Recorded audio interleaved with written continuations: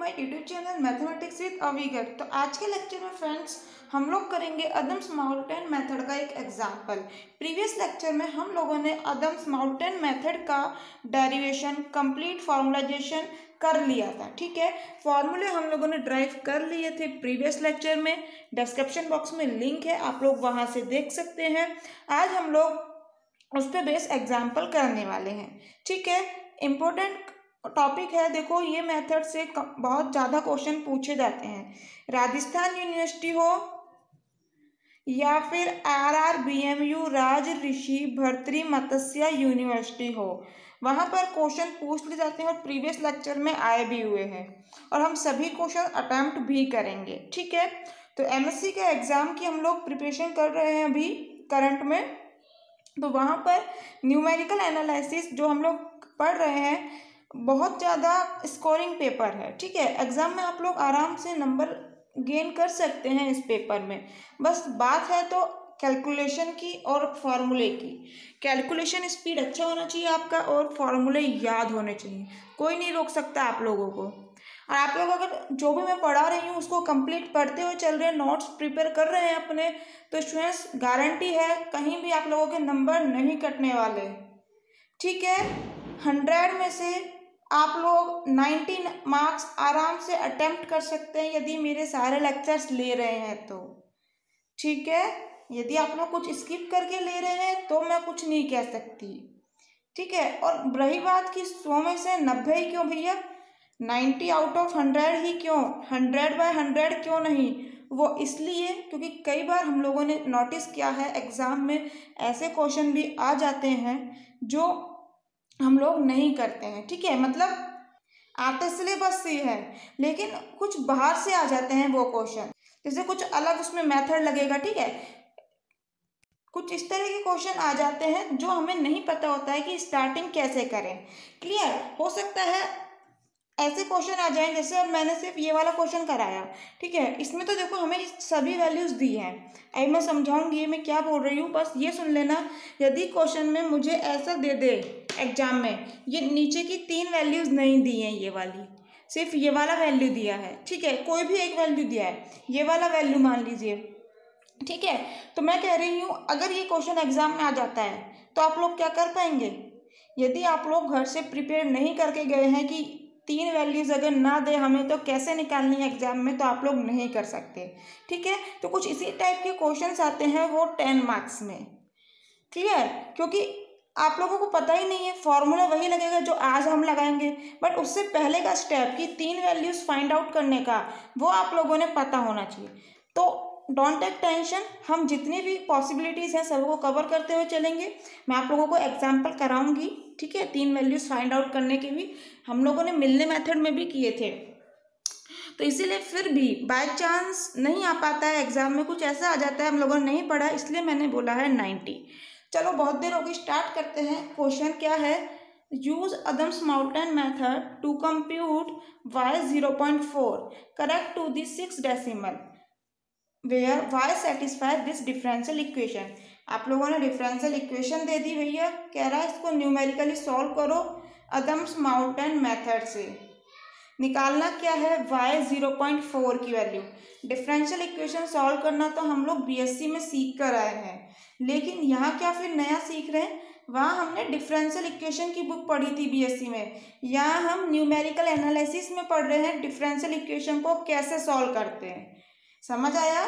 तो जो आपके पास यहाँ से वैल्यूज़ आती है ना वाई की न्यूमेरिकली सॉल्व करने पर, वो कतई ही एग्जैक्ट नहीं होती है। एग्जैक्ट नहीं होती है मतलब जो डिफरेंशियल इक्वेशन बुक पढ़ी थी, उससे निकालो बीएससी वाले से। वाई का यहाँ से वैल्यू जो भी आएगा वाई में कुछ ना कुछ इक्वेशन आएगी, ठीक है? सॉल्यूशन इस इक्वेशन का। तो जो भी यहाँ से सॉल्यूशन आएगा, उसमें रखिएगा टी की वैल्यू क्या?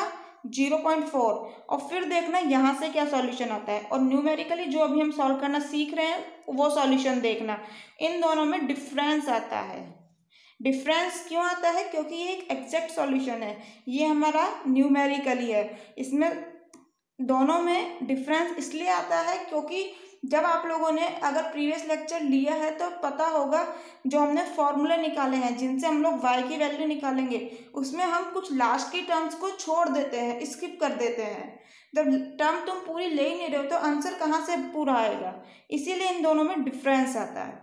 चलिए, जल्दी से स्टार्ट करते हैं। सिक्स डेसिमल तक कह रहा है करेक्ट होनी चाहिए वैल्यू यानी कि प्रिडिक्टर फार्मूले की वैल्यू और करेक्टर फार्मूले की वैल्यू डेसिमल के बाद छः डिजिट सिक्स डेसिमल मतलब छः digit, one, two, three, four, five, six, ठीक है?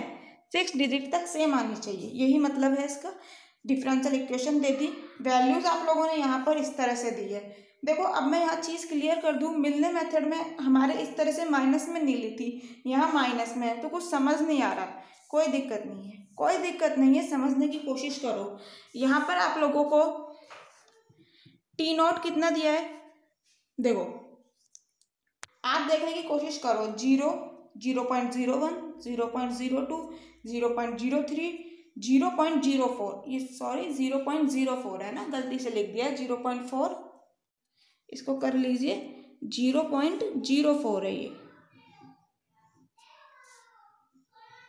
ठीक है? Zero point zero four. तो आप लोग देख सकते हैं टी नोट क्या हो गया? ज़ीरो। उसके बाद कहाँ आए? टी वन पे। वो कितना हुआ? ज़ीरो पॉइंट ज़ीरो वन, ये सेल्फ अंडरस्टैंडिंग है। टी टू कितना है? Zero point zero two. T three कितना है? Zero point zero three. Clear t four कितना है? ये। कैसे कह दिया? पहले भैया एच निकालो, जब आप टी फोर निकाल सकते हो। एच क्या होता है? टी वन में से टी नोट को माइनस कर दो। स्टेप साइज़ है। एक स्टेप में से दूसरा स्टेप माइनस कर दो या टी टू में से टी वन कर दो। अब ये मत कहना टी टू में से टी नोट क्यों नहीं कर सकते? भैया, ये दो स्टेप आ गए। हमें स्टेप साइज़ निकालना है। प्रीवियस स्टेप लो और उसके जस्ट बाद वाला स्टेप लो। उसमें से इसे माइनस कर दो। तो भैया, ये आ जाएगा ज़ीरो पॉइंट ज़ीरो वन ही। एच आ गया तो टी फोर बिल्कुल निकाल सकते हैं। टी थ्री में एच को ऐड करके। ज़ीरो पॉइंट ज़ीरो थ्री में zero point zero one add करा तो ज़ीरो पॉइंट ज़ीरो फोर बिल्कुल, ये हमारा टी फोर ही है। अगर ये ज़ीरो पॉइंट ज़ीरो फाइव होता तो हम क्या कहते हैं उसे? T five. क्लियर? चलिए, टी फोर आ गया। अब देखो, यहाँ पर कुछ भी नहीं है। ज़ीरो पॉइंट ज़ीरो थ्री वाले को, ज़ीरो पॉइंट ज़ीरो थ्री पे जो वाई की वैल्यू उसे वाई नॉट का है। मैं नहीं कह रही। मैं नहीं कह रही, मुझे ये माइनस वाला अच्छा नहीं लग रहा। कई बुक्स में ऐसा लिखा देखेंगे आप, इसलिए मैं बता रही हूँ। देखो, टी नोट हमने क्या माना है? ये वाला। तो टी नोट पे वाई की वैल्यू मैं वाई नोट से कहती हूँ।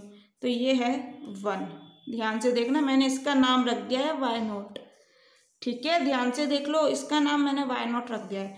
टी वन पे वाई की वैल्यू को वाई वन कहती हूँ मैं ज़ीरो पॉइंट ज़ीरो वन ये रहा। ये है zero point nine nine t two पे वाई की वैल्यू मैं कहती हूँ वाई टू ये कितना है?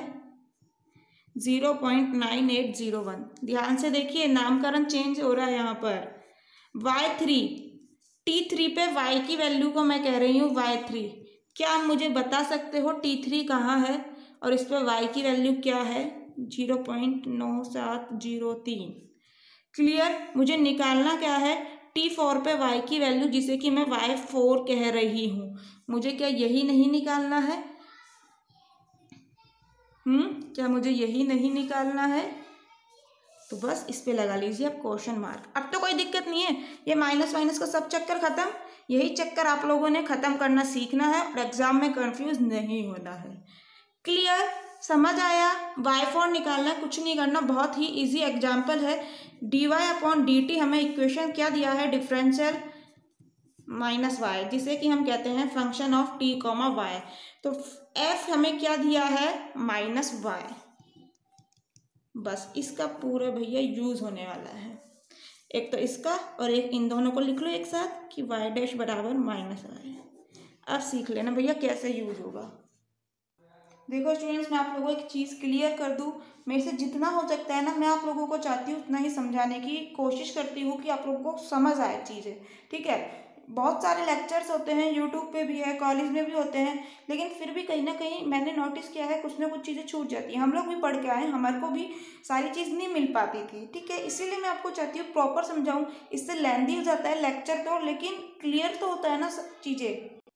तो यदि आप लोग चाहते हैं कि चीज़ें इतनी क्लियर भी ना हो जितनी मैं कर रही हूँ, ठीक है?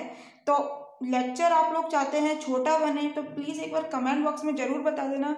मैं फालतू में इतना मेहनत नहीं करूँगी, ठीक है? आप लोग प्लीज़ एक बार बताइएगा ज़रूर मतलब क्या चाहते हैं, क्या पॉइंट ऑफ़ व्यू आप लोगों का? क्योंकि मेरा मकसद ये तो है नहीं कि लेंदी लेक्चर बनाना टाइमिंग ज़्यादा हो, ठीक है? मेरा मकसद है आप लोगों को चीज़ें क्लियर कराना, चीज़ें समझ आए, ठीक है? जो मैथ फोबिया है ना मैथमेटिक्स फोबिया मतलब मैथ से जो आपको डर लगता है, जो डर है, उसे ख़त्म करना काम है। तो आप लोग प्लीज़ एक बार बताइएगा मतलब किस तरह का आप लोग चाहते हैं लेक्चर्स तो देखिए अदर्स माउल्टन मेथड हम लोगों ने कल ड्राइव कर लिया था फॉर्मूला क्या होता है प्रिडेक्टर और करेक्टर दो फॉर्मूले होते हैं भैया। इन दोनों में एरर भी होती है, जो कि पूछी जाती है छोटे क्वेश्चंस में। मैंने आप लोगों को कल बता दी थी। लिंक डिस्क्रिप्शन बॉक्स में, वहाँ से आप लोग देख सकते हैं। तो भैया y j plus one is equal to होता है y j plus h by twenty four एक बार रीड कर देती हूँ, यदि किसी को समझ नहीं आ रहा तो। Fifty five y j dash minus fifty nine y j minus one dash plus thirty seven y j minus two dash minus nine y j minus three dash corrector formula कुछ इस तरह से है। Y j plus h by twenty four nine y j plus one dash plus nineteen y j dash minus five y j minus one dash plus y j minus two dash clear चलो।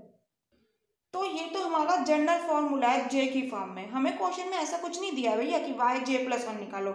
हमें सीधा सा question में you कह दी कि Y zero point zero चार निकालो। फिर मैंने इसे कहा वाई फोर तो यहाँ पर जो आ रहा है, अगर मैं वो यहाँ से निकालना चाहूँ तो मैं जे की जगह क्या लिख दूँ? मैं सोच पा रही हूँ कि जे की जगह अगर तीन लिख दिया तो अपना काम बन जाएगा। तीन और एक चार। वाई चार। वाई चार मतलब क्वेश्चन मार्क, जो हमें चाहिए रिक्वायर है रख दू। फॉर्मूला क्या बन जाएगा? ठीक है? समझ रहे हैं ना? जे की जगह सिर्फ़ तीन लिख रही हूँ तो फॉर्मूला देखो, लिख देती हूँ। चलो साथ साथ ही लिख लेते हैं। जे की जगह मैं लिख रही हूँ तीन, ठीक है? आप अपनी नोटबुक में देखिए, मैं अपने नोटबुक में देखती हूँ। तो वाई जे की जगह रख रहे हैं तीन तो वाई चार इज़ इक्व टू ये आएगा अपना predictor formula y four is equal to क्या आ जाएगा? Y three plus h by twenty four bracket में फिफ्टी फाइव वो था वाई जे डैश जे की जगह मैं रख रही हूँ तीन। क्लियर समझ आ रहा है ना? चलो लिख देती हूँ। चलिए, ठीक है? अब हमें क्या निकालना है? मैं यहाँ पर कुछ देख पा रही हूँ। फॉर्मूले में वाई फोर निकालने के लिए वाई थ्री चाहिए। क्या मेरे पास है?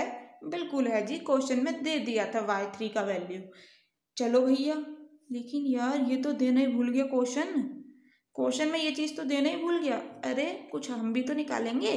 चलो, ये निकालना सीख लेते हैं, जैसे कि मिलने मेथड में सीखा था। तो ये हम लोग कैसे निकालते हैं? मैंने अभी आपसे एक चीज़ कहा था, डब्बे में बंद करा था कि इसे याद रखना।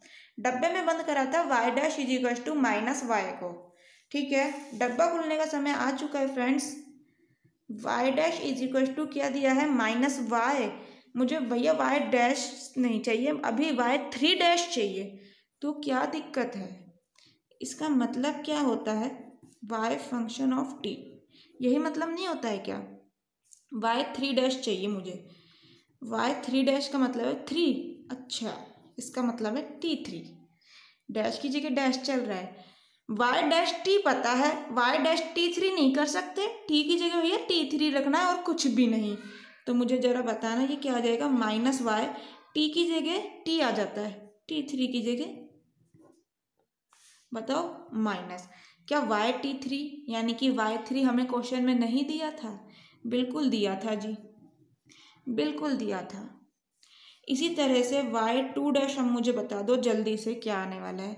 ये रामायण लिखने से कोई फ़ायदा नहीं है डायरेक्ट बताओ मुझे। इसका मतलब चलो एक बार और लिख लेते हैं रामायण, कोई दिक्कत नहीं है। थ्री की जगह बस भैया टू लिख रहे हैं और कुछ कर रहा है तो बता दीजिए। क्या वाई टी टू मतलब कि वाई टू हमें क्वेश्चन में नहीं दिया था? बिल्कुल दिया था। अच्छा माइनस भी है क्या? चलिए भैया वाई वन डैश तो अब आप लोग बता ही सकते हैं, मैं जानती हूँ, माइनस वाई टी वन मैंने सीधा ये लिख दिया। मैंने सीधा ये लिख दिया, माइनस। वाई टी वन मतलब वाई वन क्या हमें क्वेश्चन में दिया था? अवश्य दिया था, अवश्य बस चलिए वाई ज़ीरो डैश बताइए मुझे। Minus y t zero normal सी बात भी है वन की जगह अब ज़ीरो आ गया, क्या दिक्कत है? Clear minus y t zero minus y zero क्या वाई ज़ीरो वाई नॉट हमें क्वेश्चन में अवेलेबल नहीं था? क्या क्वेश्चन में हमें अवेलेबल नहीं था?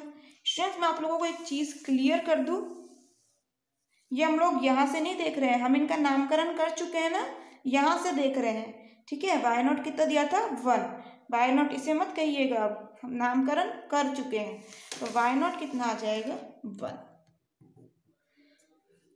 कुछ और ज़रूरत है क्या? नहीं, कुछ और ज़रूरत नहीं है। चलो यहाँ भी देख लेते हैं। यार, ये सब चीज़ आ गई तो वाई फोर डैश नहीं आया? इसकी ज़रूरत है। इसकी ज़रूरत तब पूरी होगी जब ये वाई फोर निकाल लोगे। ये वाला वाई फोर डैश लिखते हैं यहाँ पर। ठीक है? ये जो वाई फोर का वैल्यू आ गया, आने वाला है, उसको करेक्टर फॉर्मूले में यूज़ करेंगे और इस वाई फोर की इम्प्रूव वैल्यू निकालेंगे। करेक्टर फॉर्मूले की हेल्प से। चलो भैया, सबसे पहले प्रोडक्टर फार्मूला यूज़ कर लेते हैं।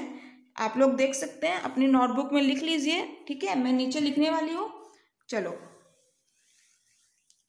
सो बाय प्रिडक्टर फार्मूला लिख लेते हैं पूरा। आप लोग लिख लीजिएगा बाय प्रिडक्टर फार्मूला ठीक है? चलिए, कोई दिक्कत नहीं। थोड़ा सा और लेंदी हो जाएगा लेक्चर चीज़ें क्लियर होंगी।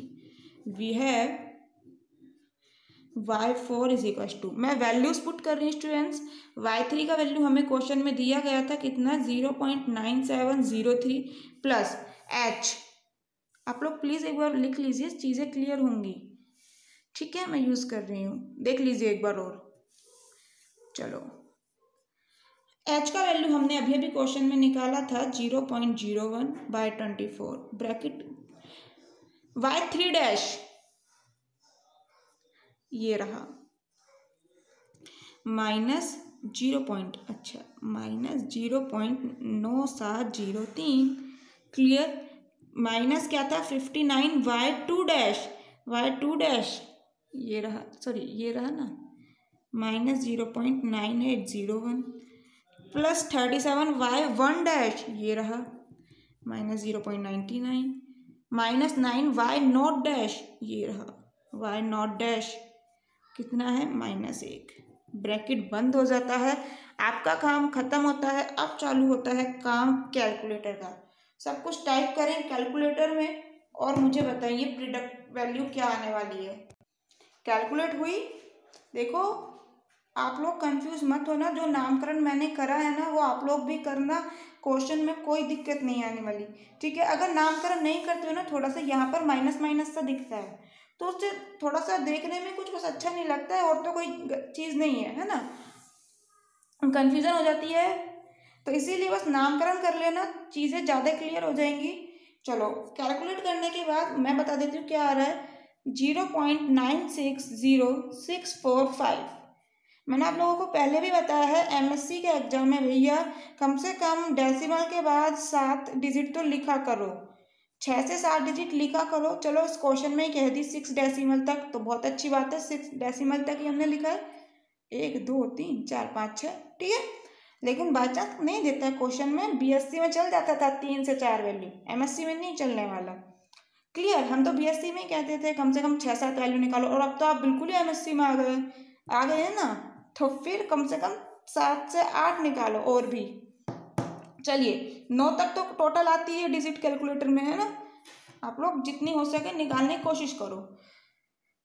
यदि एग्ज़ाम में टाइम नहीं है, पाँच मिनट बचिए क्वेश्चन पूरा बच रहा है तो कोई आवश्यकता नहीं है आठ डिजिट निकालने की। चार तक भी निकाल लेना, कोई दिक्कत नहीं है। अरे क्वेश्चन पूरा ही रह जाएगा, जब क्या कर लेंगे? छः सात डिजिट की जब देखी जाती है कि टाइम है हमारे पास। क्लियर चलिए भैया, बहुत बात हो गई। Now by corrector formula now by using corrector फॉर्मूले का यूज़ करके करेक्टेड वैल्यू हम लोग निकाल रहे हैं करेक्ट वैल्यू निकाल रहे हैं वाई फोर की y zero point zero four की। अच्छा इसको आप लोग कहीं पर पता है, ऐसा भी लिखा देखेंगे। P for predictor predict value clear तो अच्छा करेक्टर फॉर्मूले को फिर कैसा लिखा देख लोगे? करेक्टर फॉर्मूले को ऐसा लिखा देख लेंगे, भैया, क्या दिक्कत है?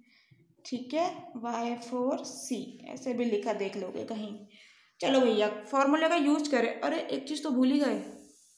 एक चीज़ तो भूल ही गए। चलो अब निकाल देते हमें आ तो गई। ऐसे आ तो गई ना निकालनी। मुझे बताओ ना यहाँ से, अगर यहीं से देखना चाहो तो। वाई फोर डैश है ना? वाई फोर डैश कैसे निकालते हैं? कुछ भी नहीं। वाई फोर डैश है ना? तो वाई डैश लिखो और अंदर टी फोर लिख दो।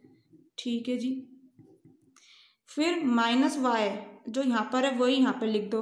अच्छा जी।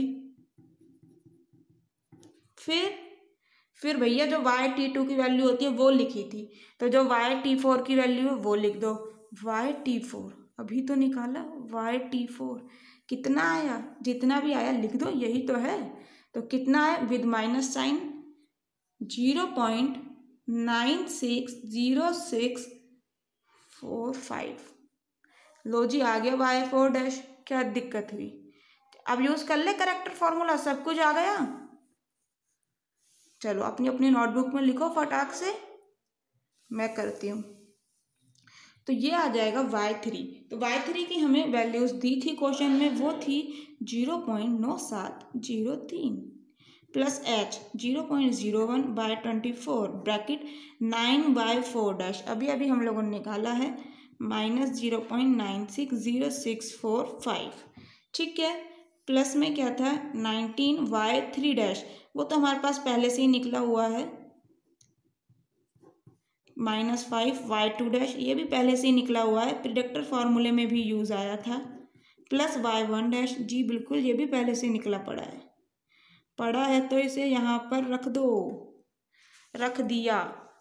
रखने के बाद अपना काम ख़त्म हो जाता है, काम शुरू हो जाता है कैलकुलेटर का।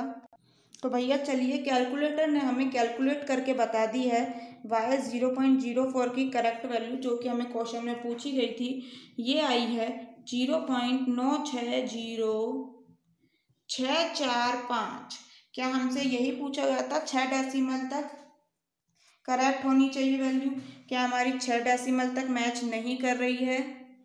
आप लोग सुनो मेरी बात एक बार, दोबारा सुनो।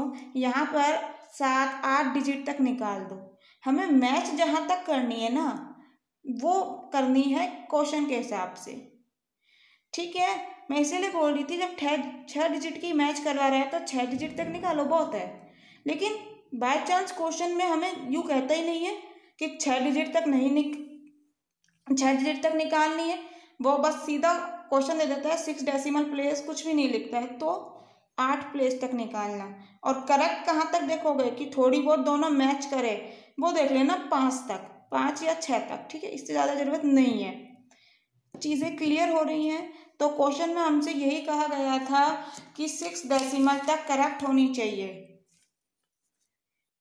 सिक्स डेसिमल तक भैया करेक्ट होनी चाहिए तो हम लोग देख पा रहे हैं जो हमने वैल्यू प्रिडिक्ट की थी प्रिडिक्टर फार्मूले से, वही वैल्यू करेक्टर फार्मूले से आ रही है। तो ये यहाँ पर हम लोग प्रूफ कर पाए हैं कि सिक्स डेसिमल तक वैल्यू बिल्कुल करेक्ट है। ठीक है? यही हमारा आंसर आ जाता है। लैंग्वेज लिखना चाहें तो लिख दीजिए। लीजिए। Since predict and corrector value same है सिक्स डेसिमल तक, इसलिए यही हमारी एक करेक्ट वैल्यू है, यही हमारे करेक्ट आंसर है। समझ आया? तो बहुत बहुत धन्यवाद स्टूडेंट्स। मिलते हैं नेक्स्ट लेक्चर में। नेक्स्ट लेक्चर में मैं आप लोगों को सिखाऊँगी, अगर ये हमें प्रीवियस की वैल्यूज़ ना दे, जो हमें आज तो दे दी थी ना क्वेश्चन में। आज तो दे दी थी भैया। ज़रूरी नहीं है एग्ज़ाम में भी दे दे। हो सकता है हमें सिर्फ़ टी नोट पर ही अटका दे। T one t two t three y one y two y three की वैल्यू क्या है? खुद ही निकाल लो। वाई फोर की तो निकालनी ही है। ये तो क्वेश्चन में एग्ज़ाम में दिया है। इसकी तो निकालना बहुत ज़रूरी है एम का एग्ज़ाम क्लियर करने के लिए। तो भैया, इसको निकालने के लिए इनकी तो ज़रूरत है। वो नहीं दे रहे हैं। वो हमें खुद में निकालनी है। तो वो कैसे निकालेंगे स्टूडेंट्स वो हम लोग सीखेंगे। नेक्स्ट लेक्चर में किन मेथड से निकालनी चाहिए, किससे इजी पड़ती है एग्ज़ाम के पॉइंट ऑफ़ व्यू से, किससे निकाल सकते हैं, वो सब चीज़ें नेक्स्ट लेक्चर में सीखने वाले हैं। तो मिलते हैं फिर नेक्स्ट लेक्चर में। तब तक के लिए आप सभी को बहुत बहुत हैप्पी दिवाली।